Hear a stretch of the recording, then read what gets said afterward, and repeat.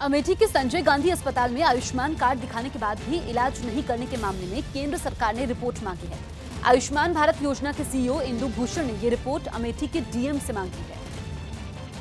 We have seen that this hospital has been part of Ayushman Bharat they have provided treatment to more than 200 people already so we will inquire into this specific case and see if it is correct that they refuse the benefit to any Ayushman Bharat beneficiary.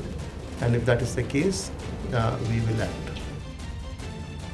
Uttar Pradesh के Amethi seat से BJP उम्मीदवार स्मृति ईरानी ने कांग्रेस अध्यक्ष राहुल गांधी पर booth capturing करवाने के गंभीर आरोप लगाते हुए अपने ट्विटर पर एक महिला का वीडियो शेयर किया जिसे चुनाव आयोग ने जाँच के बाद खारिज कर दिया लेकिन स्मृति के इस आरोप पर घमासान छिड़ गया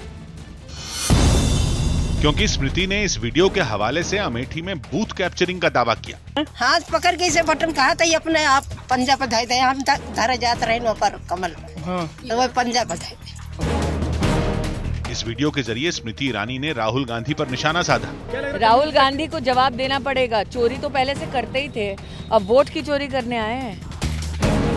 वहीं इस आरोप पर कांग्रेस ने स्मृति ईरानी पर तंज कसा। चांदनी चौक में डेढ़ लाख वोट से आ रही थी। वोट कैंसिलिंग हुई थी। हैं? क्या बात करती है वो? रोतड़ू है रोतड़ू। रोती है। जिसके बाद स्मृति ईरानी ने भी पलटवार कर दिया। जोकर के बारे में कॉमेडियन ही देगा अपना प्रेस कॉन्फ्रेंस और कौन देगा?